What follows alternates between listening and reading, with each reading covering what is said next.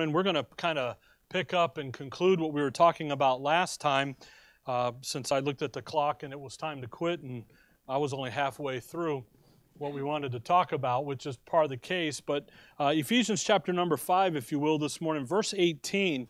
Uh, we'll just kind of go back in and look at the what's really what Paul's really talking about here in the in the issue here in verse 18 when he says, "And be not drunk with wine wherein is excess, but be filled with the Spirit. And we spent some time looking, actually months, looking at the issue of what it is to be filled with the Spirit.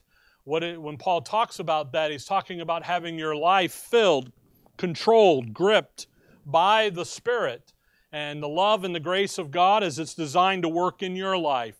Colossians chapter 2, the sister verse to this, or Colossians 3, I'm sorry, the sister verse to this it says let the word of christ dwell in you richly. Colossians 3.16 and that's the issue where you let the word of god come and work in your inner man and as that begins to work he then begins to grip your life control your life and he begins to take your life and to then go use it for his purpose for his will and what he would have you to be in the church the body of christ. And he does that but he does it through the working and the instrumentality of the holy spirit that's why when you get saved, it's so critical that you understand Ephesians 1, verse 13, that you're sealed with the Holy Spirit of promise.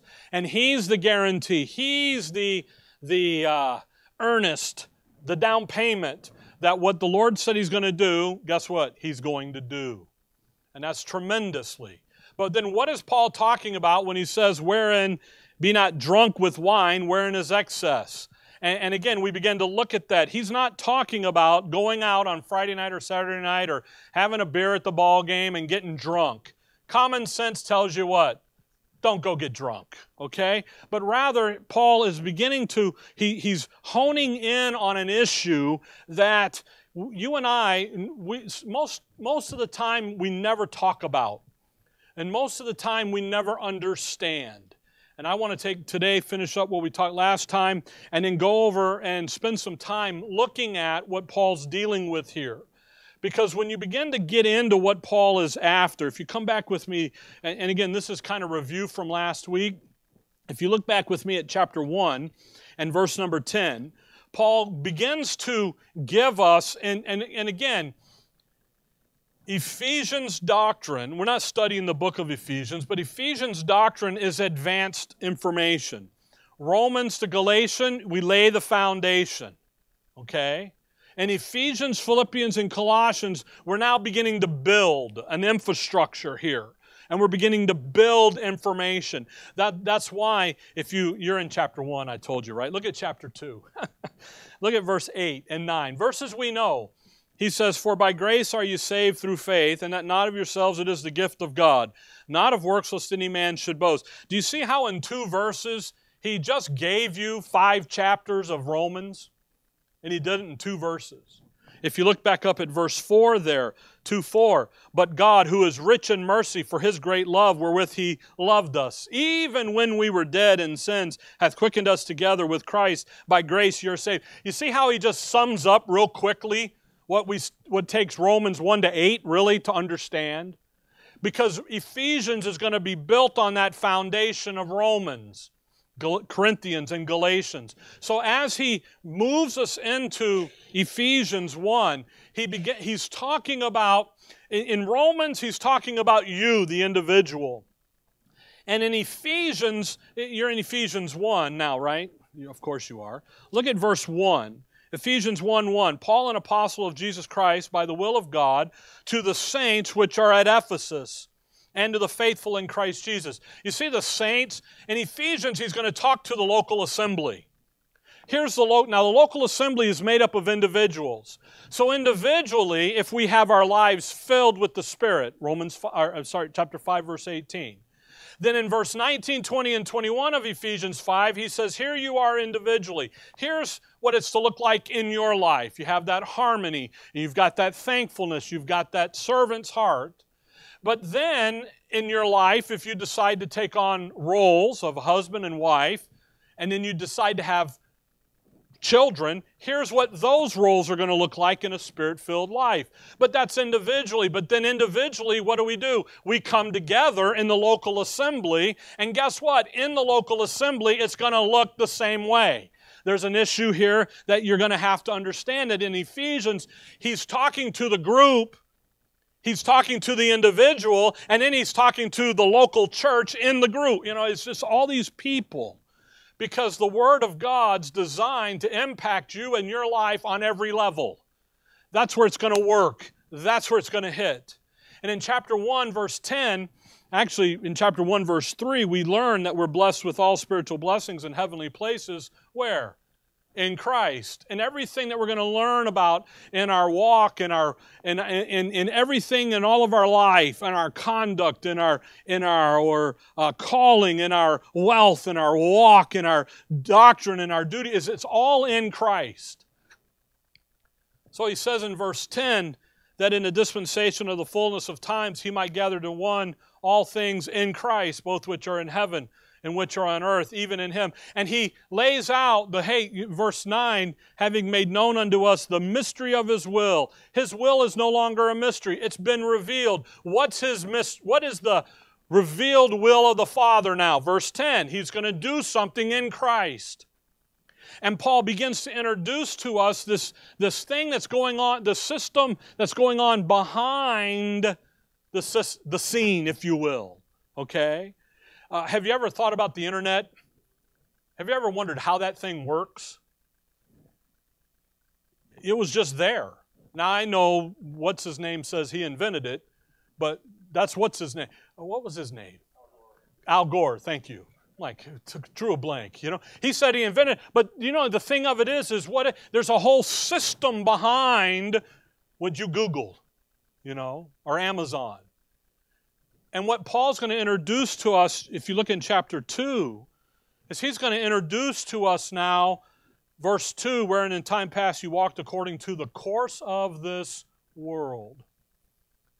And he's going to begin to introduce to us that, yes, this is who we are in Christ. Yes, this is what we're learning. Yes, this is how we are. But don't get too far, don't get too high minded because there's somebody out there that doesn't like what God's doing and that's the adversary. And he's got a course. And he's got this thing going on, and he uses the term here in chapter 518 be ye not drunk with wine, wherein is what? Excess. And that issue of being not drunk with wine wherein is excess doesn't have to do about going out and have a red rosé or a sangria or whatever else you guys like to drink, okay? You know, me personally, I'm water and tea right now. You know, but see, the thing is, he's not talking about that. He's rather, he's talking about something that's going on behind. And he uses that word excess. And you know, your flesh, when, when you're in excess, you're feeding the flesh. That's what you're doing. Look, look back in chapter 4 in verse 17. And, and you know what? We're not to do that we're not to be drunk with wine wherein is excess. We're not to be feeding the flesh. We're to be operating in who we are in Christ. Verse 17, he says, I say therefore and testify in the Lord that ye. Now, who's the ye? The group, the plurality here. Well, first, it's the church at Ephesus. That's who he's talking to, right? Then he's going to talk to the faithful in Christ Jesus. And then he's talking to you and I the church, the body of Christ. And, he's, and the only reason why Paul has to say this is because this is happening. You know that. He doesn't say, hey, let him be accursed, you know, don't do this, don't, unless something is going on. And what's beginning to happen at Ephesus? What's beginning to happen? What happens in your life? Well, you're going to do this verse that ye henceforth walk not as other Gentiles walk in the vanity of their mind. Their thinking, vanity, emptiness. Don't walk like the Gentile. Don't live like the unsaved. Having the understanding darkened, being alienated from the life of God through the ignorance that is in them, because of the blindness of their heart, who being past feeling have given themselves over unto lasciviousness to work all uncleanliness with greediness. That verse 19 is a classic definition of excess.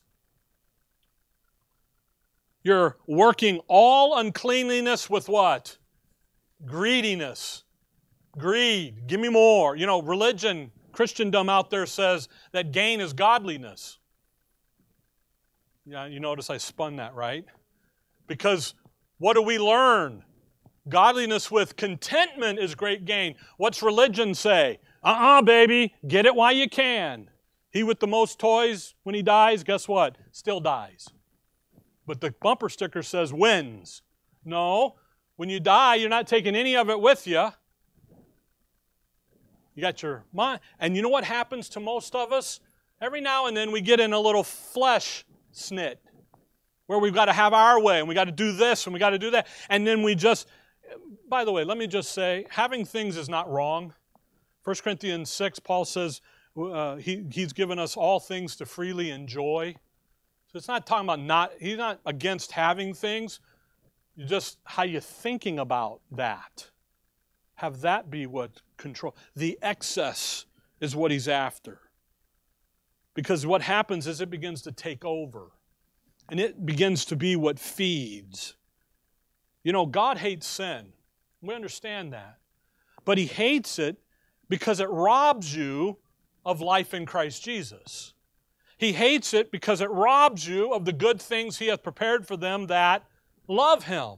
It, ro- it takes away from you, it causes you to not be able to think properly.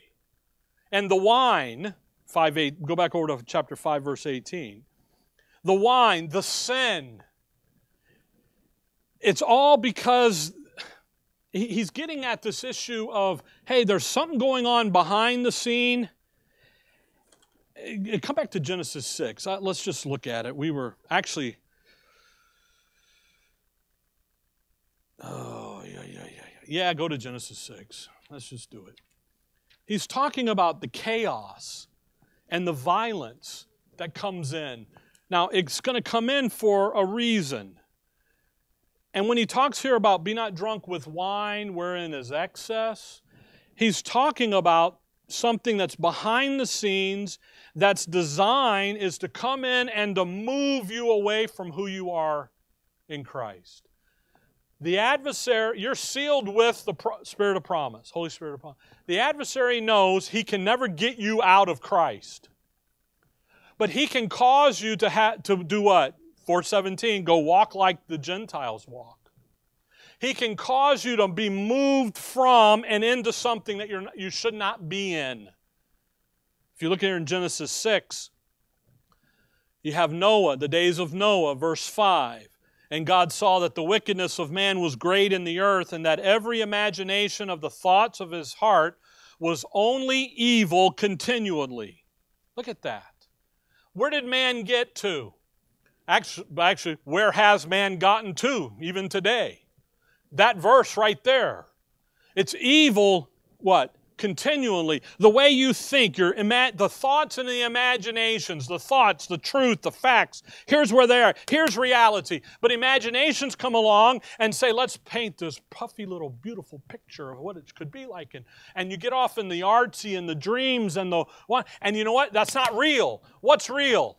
Right here. This is an imagination. And he says, you know what? You know where man is? Man has allowed imagine. Notice imaginations are listed first, the imagination of the thoughts. There, man is not living in reality here. Rather, they're over here evil, evil continually. Verse 6 And it repented the Lord that he had made man on the earth, and it grieved him at his heart. And the Lord said, I will destroy man, whom I have created from the face of the earth, both man and beast, and the creeping thing, and the fowls of the air, for it repenteth me that I have made them. What, what's going on? It grieved God, the, the condition of man. He, he, he has. God made Adam and Eve, set them in the garden, told them to be fruitful and multiply and have family and do all of this and replenish and get it going. And they were doing that until sin entered into the picture. And what did sin do? Sin robbed Adam and Eve of the benefits of who they were in Christ. But it, then it also robbed mankind of that, Seth, and the image of Adam, and all. And you just go through all of that, and it grieved God because of what was happening in the earth. That's what verse 6 and 7 is talking about. He looked at man, and it grieved him. All of the earth had been corrupted. Notice that in verse 7 man and beast and creeping thing and fowls, all of creation has been corrupted. Isn't that interesting? It's not a, well, the butterflies are not corrupted. No, the butterflies are corrupted.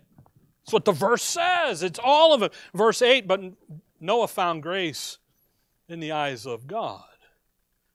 Verse 11, the earth also was corrupt before God, and the earth was filled with violence. Why is there violence in the earth? Here in Genesis 6. Because what man what's in his heart? Verse 5. Only evil continually. You see, the chaos of sin had produced a total, it had totally messed up the world, threw a wrench in it. And in response to that, in response to the whole world being corrupted, what did God do? He flooded it, didn't he? He judged it. He kept Noah and his three boys and families. Come over to chapter 10 of Genesis. In response to the violence, in response to the chaos, note, look at what God did 10 1. What did he do? Genesis 10, verse 1. Now, these are the generations of the sons of Noah, Shem and Ham and Japheth and unto them were sons born after the flood. Uh, that's not the verse. I, I need 9 1. I'm sorry. I'm like, that didn't verse. 9 1. Noah comes off. What did God do? 9 1. Noah comes off the earth, and God blessed Noah and his sons and said unto them, Be fruitful and multiply and replenish the earth. Sa- similar to uh, Adam, but not completely the same. Do you notice what's missing from Adam's decree? The issue of subduing it because things have changed now in the earth. You go read Genesis 1 over there, and he looks at Adam and he says, Hey, I want you to be fruitful and multiply and replenish and subdue it. Here, there's no subduing. Now he's going to introduce something in response to the whole world being corrupted. He judges it, and then he introduces the issue of human government, national government. And he says, Hey, here's what we're going to do. At uh, Noah, verse 2, and the fear of you and the dread of you shall be upon every beast of the earth. Now you got to go hunting. Now you got to go, you know, they were talking about salmon. You know, pre fall, salmon would just jump right up and, you know, love on you and kiss on you and go right back in the water. Pre fall. After the fall, you know what you got to do to salmon now? You got to go fishing. You got to throw the hook in there. And you know what they're doing? Not today, Turkey. We were up at Yellowstone. The guys are out there trout fishing and the fly fishing in there, and I'm sitting there watching them, and I don't think any of them caught anything. You know, I really don't. But they say they do, but I don't believe them. You know, you know how a fisherman's story is, right? I caught him. He was really that big. You know, he really was that. You know, you can zoom in close enough on any fish that it looks bigger than you. You know, you really can. Photoshop. Now what's now you got to go hunt, got to go get it. Verse 6, and whosoever sheddeth man's blood by man shall his blood be shed for the image of God made he. Now we got capital punishment. Now we've got human government introduced. Now chapter 10 verse 1.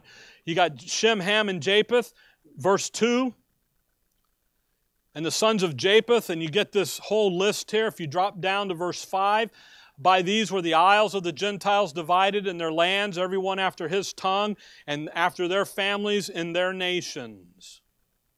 What's he doing? He's establishing nationalism. He's scattering out. He, what did he just tell Noah, chapter 9? Scatter, boys. If you got to go hunting, you know what you got to go figure out? Where the game are. You got to move with them. You, are going to be, you're not going to stay in one place. You're going to move around. And, and the design of that was to fill up the earth. If you look there at verse 20, these are the sons of Ham after their families, after their tongues, and their countries, and in their nations.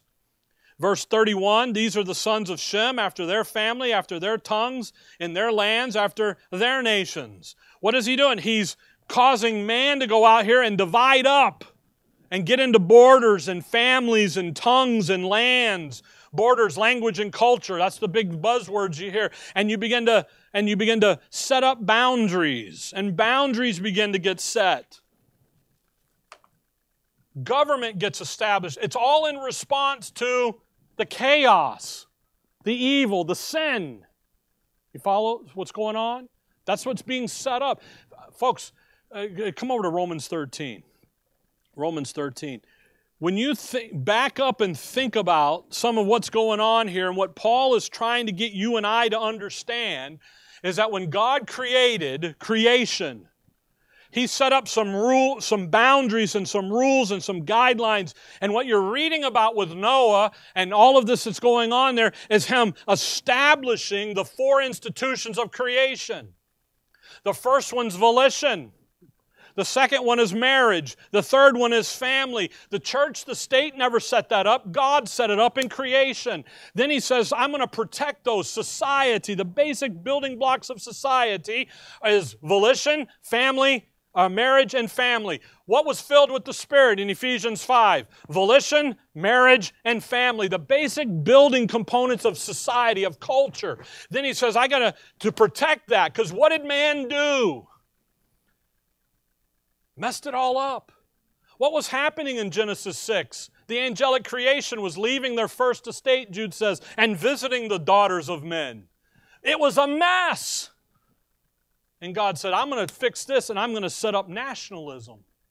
And that's the fourth institution. And nationalism, human government, is designed to protect volition, marriage, and family. And you look around today, and I told you this last week, if you look at history, Okay? We're to learn from history. So we don't do what? Repeat it. Problem is, is when you rewrite history, guess what you're going to repeat? Not the rewritten history, the original history. You know why you know that? Ecclesiastes, Solomon says there's nothing new under the sun. You're just going to repeat it. And you can have all the well meaning and all the want to change things and to make things better until you fix the sin problem, the hard issue with man kind. You'll never fix any of that. You're just going to repeat it. In Romans 13, Paul eh, gets, verse 1, Paul is going to talk about the institution of national government here. And he says some interesting things here. 13:1. Let every what? Soul. That instantly tells you this is an inner man issue. Well, I don't want the government telling me nothing. You know what? Then you got a problem with your inner man. Because let every what? Soul be subject. That's an inner man issue. That's a coming when by the way, if you bow your back at mandates and all that stuff, that isn't the problem with you. You got something going on inside of you that you haven't come to terms with. Now, I'm not saying they're right or they're wrong. Okay? I don't like anybody telling me what I got to do. Listen, if they tell you you got to do something, then they're going to come through those front doors and tell us we have to do something here that we don't agree with. Okay? I can remember years ago when the first anti smoking ban was on the ballot in Mesa no smoking in public buildings. I voted against it. I said, no, they ought to be able to smoke. Smoke wherever you want. And boy, I got flack from everybody from A to Z. But you know, they never understood my reasoning. You know my reasoning was? Because one day they're going to come and tell me I can't read my Bible. And where they got their grip was in a no. Now, smoking's stupid. You want to smell like you've been to hell? Go ahead. But that's just, physically, it's just a mess. But what are they going to use? Because we do that, now we can tell you you can't read your and study your Bible. And oh, by the way, you can no longer do it publicly. Oh, by the way, today the Bible is being considered as hate language, lit- language, literature. Where did that start? It started over here with something everybody, you know, anti smoking. I'm against you not smoking. but the government began to reach. You follow that? So you bow your back, there's something going on inside of you. Let every soul be subject unto higher powers.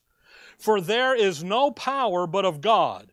The powers that be are ordained of God. When he talks about powers, he's talking about government, not the people in the government. By the way, the people in the government, what are they? Sinners. What do they? Who do they need? Christ. Think, have you ever thought about how a, have a government that was Christ people in charge? What it would ever look like? You do in Scripture. It's called the kingdom. When the little flock sits and reigns and rules and do, you know. But you'll never find that on earth until the Lord returns and sets it all right. Okay? And by the way, you and I will be in heavenly places. We'll just be enjoying watching it, you know. Whosoever therefore resisteth the power resisteth, and here's what I'm after the what? The ordinance of God. A lot of times that gets said, you're resisting God. It doesn't say that. It says resisting the what? The ordinance. The mechanism that God had established to maintain some, to control something, to slow down. And that's in verse 3. For rulers are not a terror to good works, but to the evil. You see that issue of the evil? The evil. There is a specific evil that God had established government to stop, to control. And that's, that evil is the violence and the chaos, the product of man's sinful heart. And what, go- what government was established to, to remedy and to slow down was that issue of the chaos and the violence that man's sinful heart can produce. The evil there isn't the robber or the murderer. The evil is that chaos that that produced. So government was planned, was ordained, if you will, the ordinance, to stop the chaos, the violence. You see, that, again, God wants, He hates sin because what does sin do? What does it accomplish? It stops you from enjoying the good things He has for you. We looked at that last time in Proverbs. And you know what He wants you and I to be filled with? The Spirit.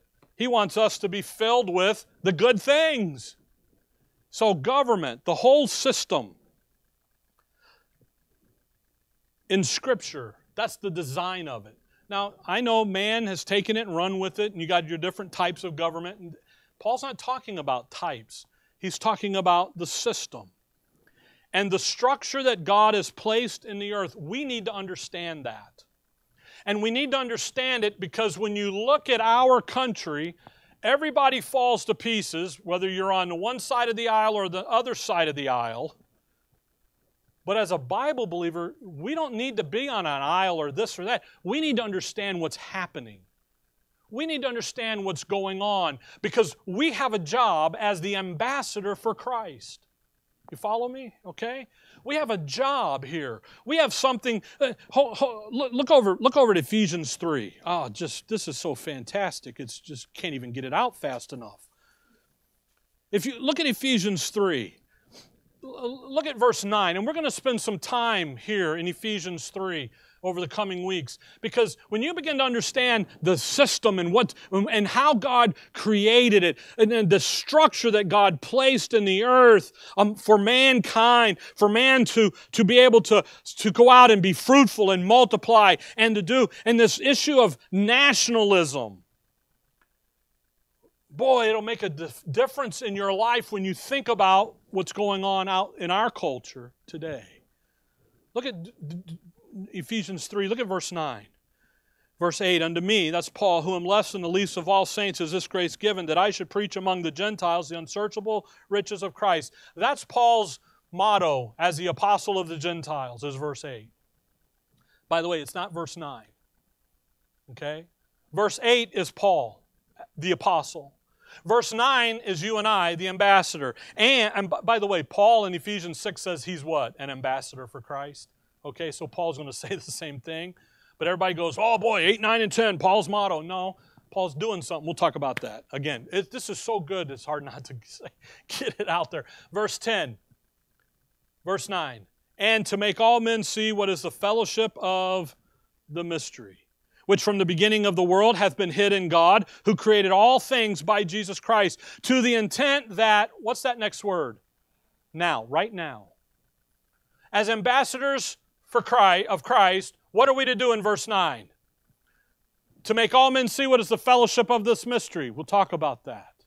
And, verse 10, to do something else as well, to the intent that now unto the principalities and powers in heavenly places might be known by the church the manifold wisdom of God. You see, there's a wisdom plan out there that's counter to the wisdom of God. And you know what we're to do? We're to shine a big old floodlight on that bad boy and expose it. How do we expose it? By manifestation of the wisdom of God.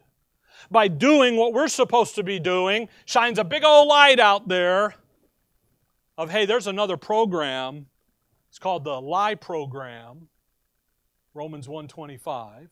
It's called the satanic policy of evil. And Satan's got a I will plan. And you know what he does? He comes along and he seduces man.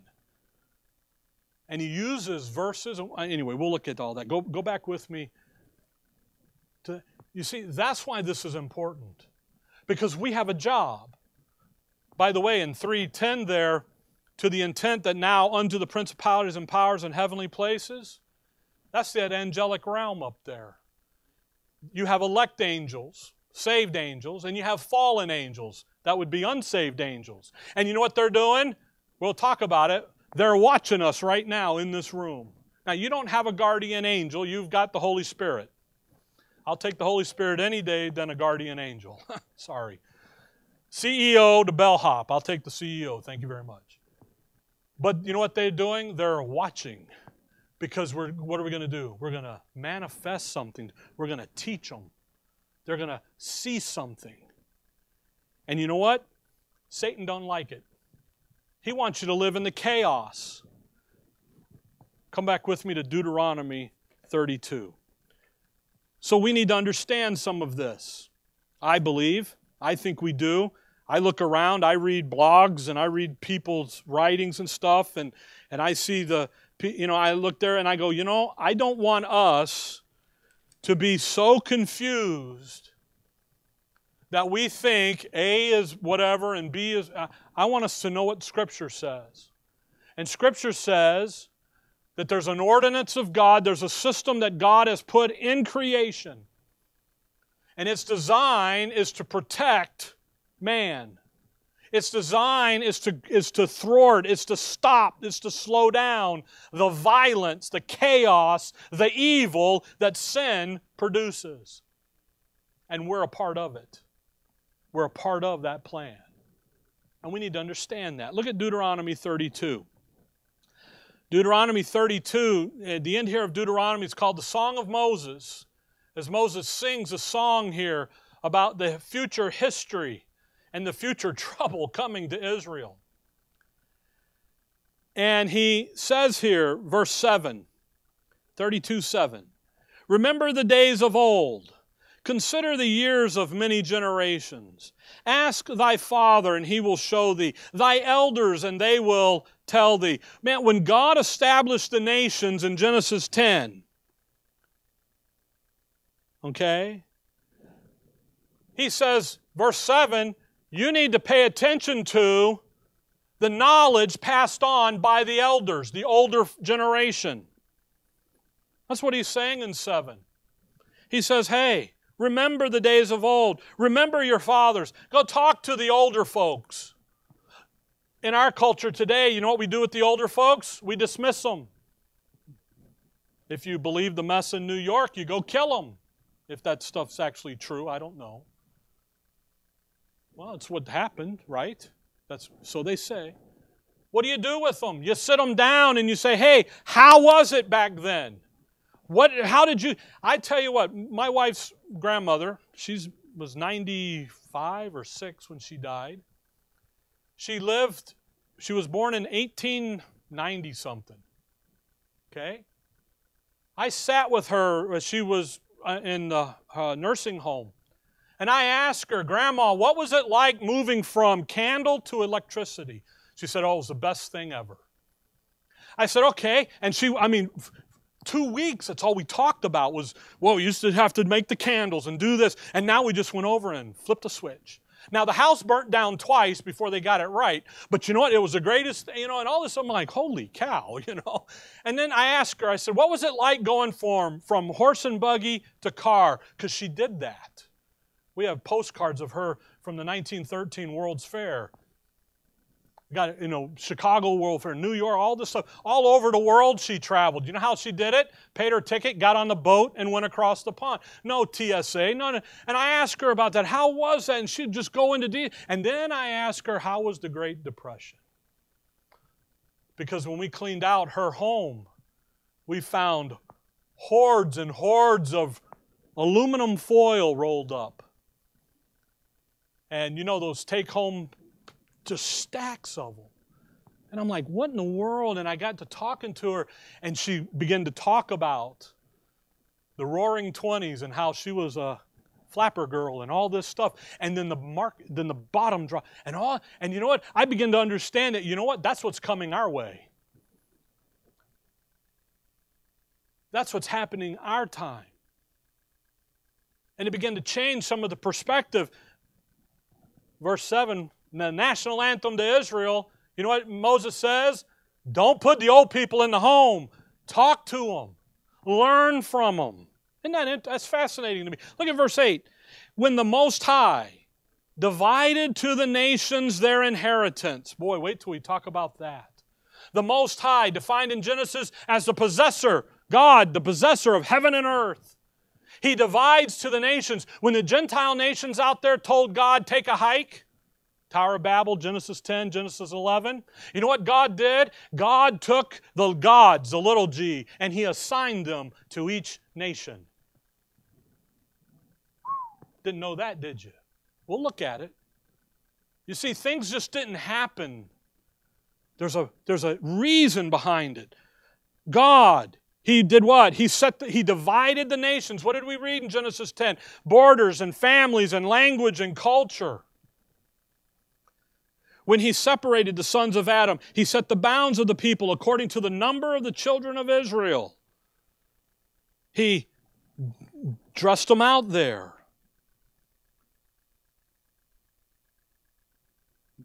Think about that. The number of Israel. What is the number of Israel? 12. That number of governmental perfection. Do you know when Israel shows up the first time in Scripture? Genesis 12 with Abraham and the seed of Abraham. Oh, whoa. Now, ultimately, there are Israel, but that's where they get their founding. Verse 9 For the Lord's portion is his people.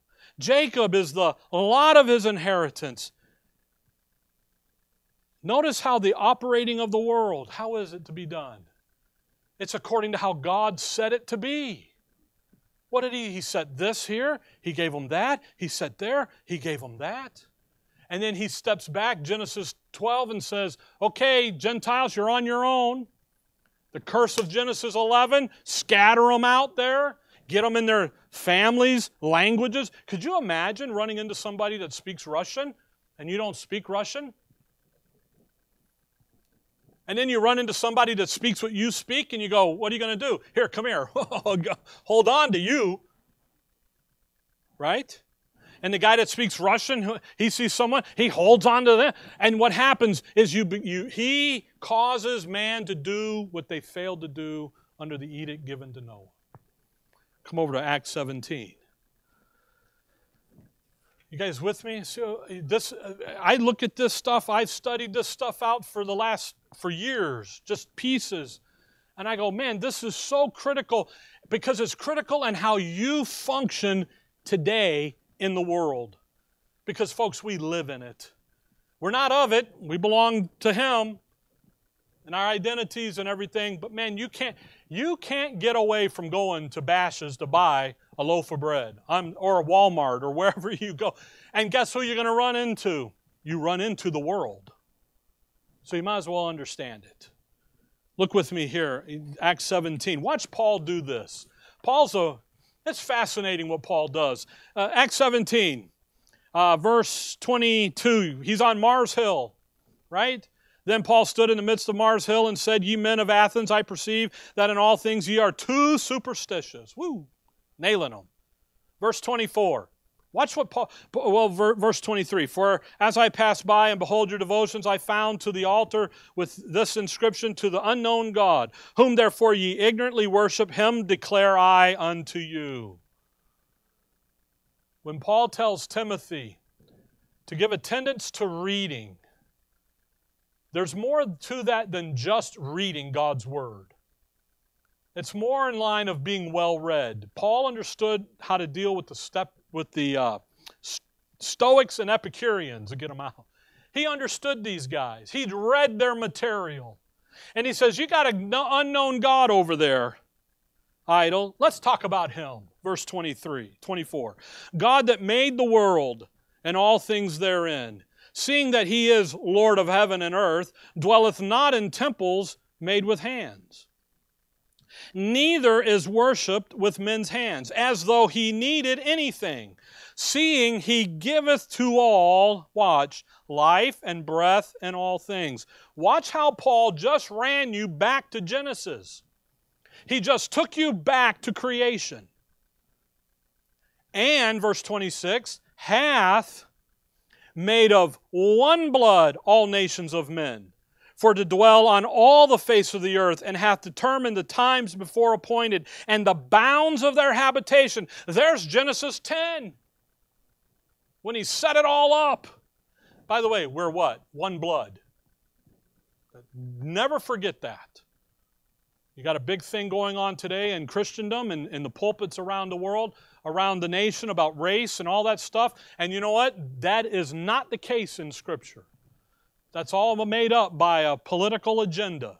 I'm just sorry, that's where it comes from. I'm not saying things are right or wrong, but just understand its origin. Now, watch verse 27. That, why did he do that? Why did he set the bounds up, Genesis 10? Why did he put this group there and that group there and this group there? Why did he do that? That, the purpose, the intent. They should seek who? The Lord. He set them in smaller units for them to do what? Have an opportunity to find Him, have an opportunity to seek Him if haply they may feel after him and find him. Why would they have to feel after him? Do you remember what we read back there in, in Genesis? They're what? They're blind. Their hearts are blinded. They're in sin. They're in darkness. Have you ever been in a dark basement with the lights get turned out on you and you're not familiar with it? I have. You live in Chicago long enough, somebody usually turns the lights out on you in the basement. The next thing you know, you've bumped into that rail like three times. And what are you doing? You're What's, what's lost going to do? They're going to do, but what, are they, what do they have the opportunity to do now? Find Him.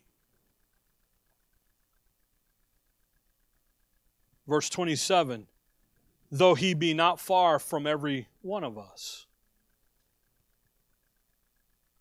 The boundaries, the order, is designed to produce, to accomplish the plan and the purpose of God. What is the will of God? He would have all men be what? Saved and come to the knowledge of the truth. Salvation's first. So, what does he do? He sets up the opportunity. Now, come over to Revelation 17. We're just skimming the treetops this morning. In Genesis 11, a young man shows up. His name was Nimrod. And Nimrod was a usurper. He's the one that caused the Tower of Babel, the city of Babel, to be built. He caused the one language. God told Noah, scatter, and his family, scatter, you go hunt. Nimrod was a mighty hunter. He said, Don't worry about that. We'll go hunt for you. And actually, you know what we'll do? We'll hunt it, we'll kill it, we'll process it, we'll have it for sale down at the grocery store. You don't have to do anything. Just kick back and enjoy. And as society gets created and the arts are created and, and all the different things in culture and leisure time, you know, there was no leisure time in the original creation. Do you know how long man was working? He's working six days. And the seventh day was the Sabbath day, and that really wasn't, I mean, I know everybody says you don't work on Sabbath day, but ultimately that was for them to stop and think about what they had just, what, why they're working six days, what creation was all about. and man created leisure. Nimrod says, That's okay, you need your, you need your leisure time. I'll take care of it for you. A direct disobedience to what the Word of God had said. So they built a tower, didn't they? Think about Genesis 11. They built a city. A city is a political unit. You remember the first city man ever made? Cain did it. What did God tell Cain to do? You're going to be a vagabond. You're going to be a wanderer. Cain said, No, I'm not. And he built a city, named it after his boy. Heritage. My legacy is established because my city is my boy. Well, what did God do to Cain? He Messed with him. A tower. A tower is a religious center. In Psalms, Israel is said of Israel that the Lord is our tower. It's a religious center.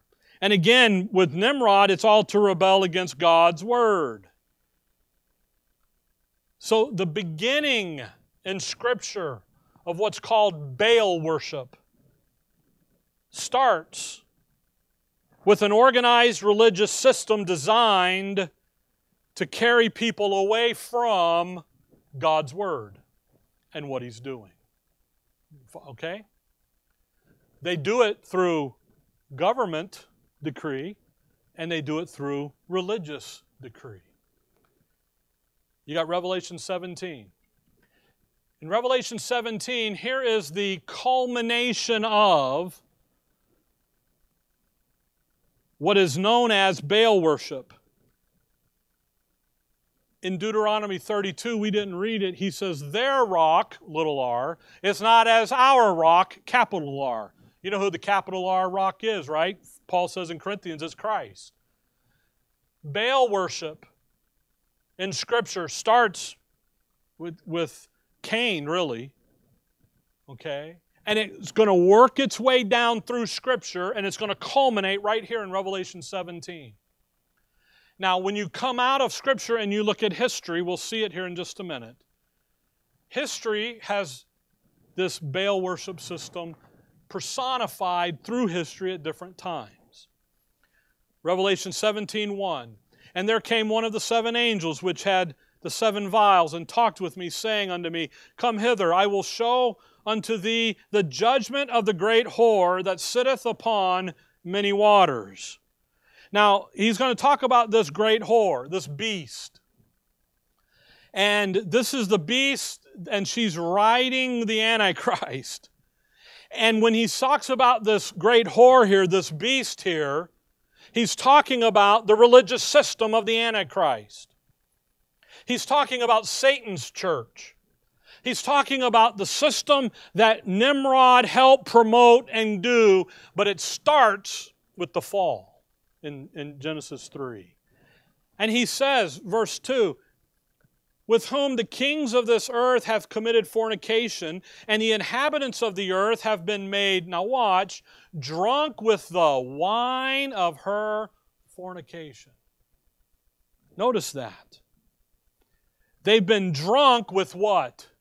Wine of her fornication. Now, this is about spiritual stuff here, okay? This isn't about getting the hooch and, you know, give me another 40 40 or whatever and brown bag in it and off we go. He's, and this is what Paul's after right here. The intoxication, the, the description here.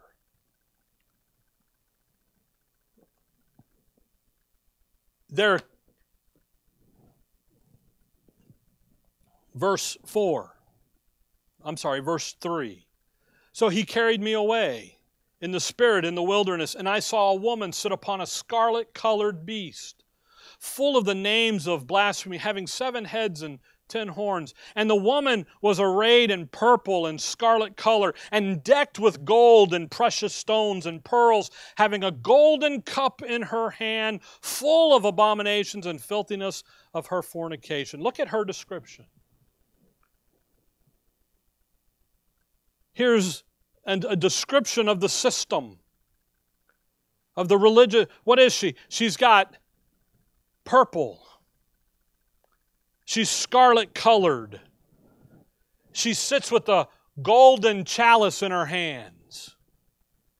She's arrayed in gold and precious stones and pearls and have she's what? She's beautiful, isn't she? She's attractive. Verse 5. And upon her forehead was a name written, Mystery. Now notice the comma. Babylon the Great, comma. Her name is Mystery Babylon the Great. That's her title. But what is she? The mother of harlots and abomination of the earth. Notice, notice her title. Who is she? She's the mother of what? Of harlots. She's the mother church. She's the mother church with all other kinds of churches springing out of her. She's the mother church. She's the mothership. She's the center. She's the whole religious system that's designed to produce all of the different kinds of denominations, of groups. She sits as the foundation, as the base of it. Her color is purple, scarlet. Her symbols are a golden cup. By the way, the golden cup is filled with the wine of her fornication. That's spiritual stuff. Over in Psalms, we'll see when we get into this, they come in there and, and, and the, the Antichrist causes her, he sits there in the, in the temple and his claims to be God. They bring the, the overcomer in, the believer in, and they literally slice their throat. They behead them and they take that golden cup and they stick it under them and they have a drink offering of blood, Psalms calls it. Now, are you supposed to be drinking blood? No. Blood's the life, but what is she doing? You drinking that blood. This isn't the blood of the grave, this is the blood of the saints. And you know what? When Paul says don't be drunk with wine, he's talking about this system. That's what he's talking about. Come over with me to 1 Corinthians. 1 Corinthians chapter 10. She's going to get them it's the system. Look at 1 Corinthians 10. Just bear with me. We'll wrap this up and we'll get into some other things here next time. 1 Corinthians 10. Watch Paul bring this up, verse 16. 10 16. Man, when people talk about the Lord's Supper and all this stuff, they fail to read 1 Corinthians 10, which sets up 1 Corinthians 11, by the way. 1 Corinthians 10, look at verse 16. The cup of blessing which ye bless, is it not the communion of the blood of Christ? The bread which ye break, is it not the communion of the blood of Christ? Well, what, what, what great questions. So there's a cup here, isn't there? There's a cup. Verse 20. But I say that the things which the Gentiles sacrifice, they sacrifice to devils and not to God. And I would not that ye should have fellowship with devils. Ye cannot drink the cup of the Lord and the cup of who? Devils. Ye cannot be partakers of the Lord's table and of the table of devils. Notice how Paul brings in, and you know what he says? Don't be drunk with wine wherein is excess, but be filled with what? The Spirit. Paul in Ephesians is making a reference to understanding this system. In Scripture, it's called Baal worship. And its design is to come all the way across time. Come with me to Jeremiah 44. You, we, we'll skip Deuteronomy for just now, but just run over to Jeremiah with me. Jeremiah 44. It's going to come across there. And when it comes across there, it has its it raises its ugly head today. By the way, in Revelation 17 5 there, the first title of hers is mystery. It's interesting in 2 Thessalonians 2, Paul will say, The mystery of iniquity doth already work. Now, there's a reason why she's called mystery. And I'll tell you real quick that's because she's going to pull a little trick. She, Satan, is going to pull something on Eve, and he's going to do it and say, God has a secret that he doesn't want you to know about. But if you join me, I've got the decoder ring, and I'll tell you the secret. So she develops a mystery. It's also a mystery because it's the course of the world. It's running behind the scenes. And what the average person out there doesn't catch is that. That they're really the children of disobedience. And they're working after the course of the world and they have no clue about it. You and I need to know. Uh, Jeremiah 44, you got it? Give me five minutes. Well, maybe. Look at verse 15. Jeremiah uh, 44. He's going to, he, uh, if you look at verse 1, the word that came to Jeremiah concerning all the Jews which dwell in the land of Egypt. So he's talking to Jews, and they're down in Egypt, and they're running. They're, Nebuchadnezzar has come in, he sees Jerusalem, and they're running. Verse 15.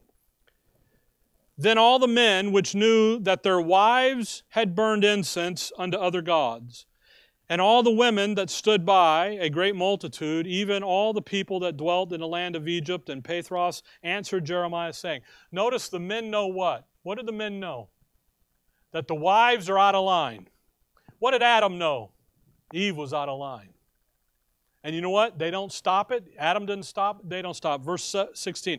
As for the word that thou hast spoken unto us in the name of the Lord, we will not hearken unto thee. What's Jeremiah say? Jeremiah says, Don't do this. And you know what they say? We ain't doing it. Now watch verse 17. But we will certainly do whatsoever thing goeth forth out of our own mouth to burn incense unto, look at that, the queen of heaven. And to pour out what? Drink offerings unto her. As we have done, we and our fathers, our kings and our princes in the cities of Judah and in the streets of Jerusalem, for when we had for when we for for then had we plenty of victuals and were well and saw no evil.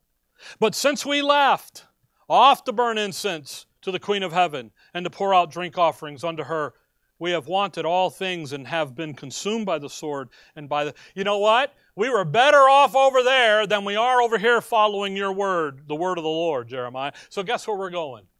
We're going to go back. But who are we going to go back to?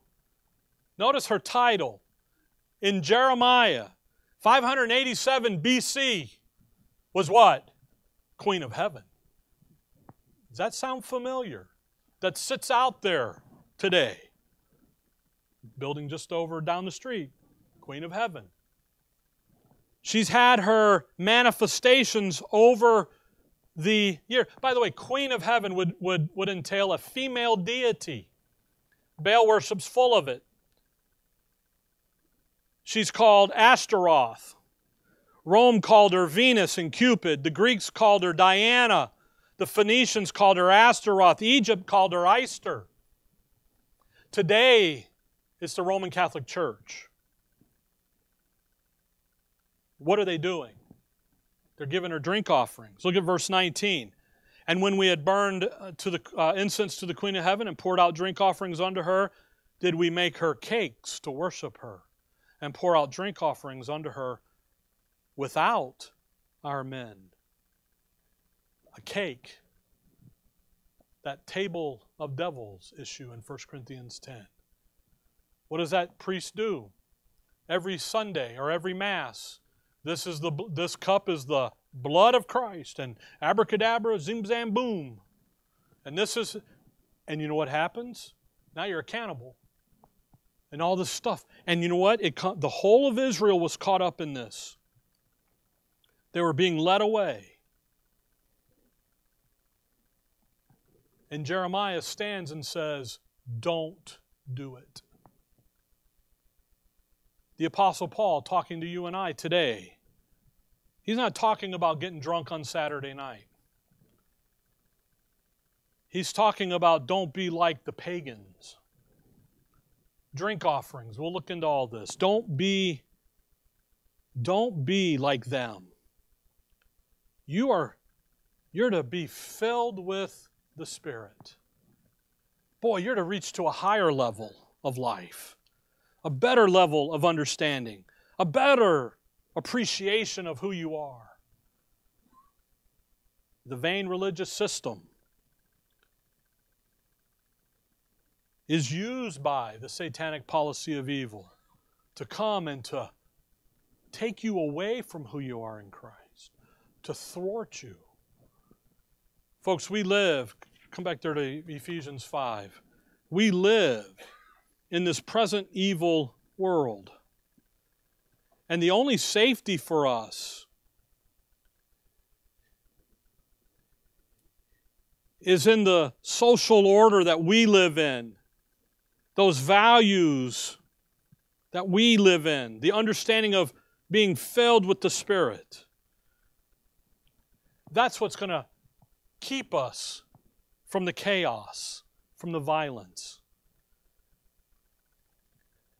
And ultimately, when you and I go and do and live as who we are in Christ, the adversary's not going to like it. So he's going to come after you. He's going to attack. And he's got mechanisms, and we're going to look at those in a probably first of the year. okay? We've got he's got stuff like that out there that he just reaches in and says, "Here, there." And you know what? You're in Ephesians 5. Look at chapter 6, and we'll close here. Verse 11.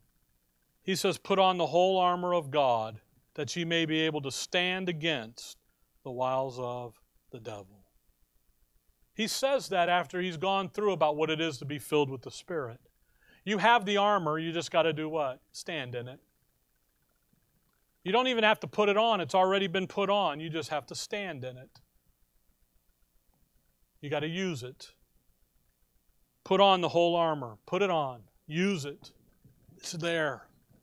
Get on who you are in Christ. Because there's a whole system, and we'll start next time in chapter 3. We'll show, I'll show you the system all through Scripture. And you can look at history. You know why most people think Rome's the bad boy, the Roman Catholic Church? Because what does it look like? It looks like the mother, Babylon the Great the mother of harlots. But she's looked that way since day one, all through. You and I, we live in a world we live in, is in the present evil world. You got to know what's going on behind the scenes.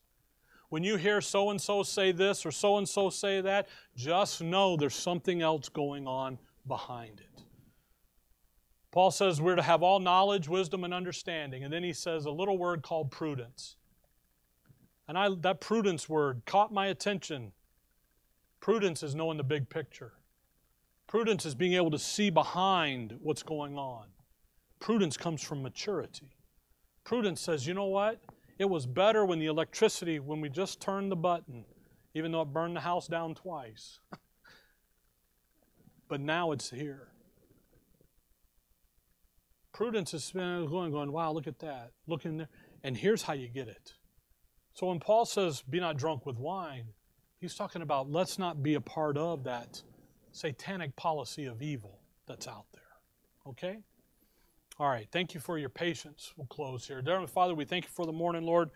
We thank you for the instructions that we have here in Scripture. And as we dig into them and as we look at them and as we study them, we'll see your intent, your true intent in creation, not only of the earth, but also of the heavenly places and then our participation in those heavenly places.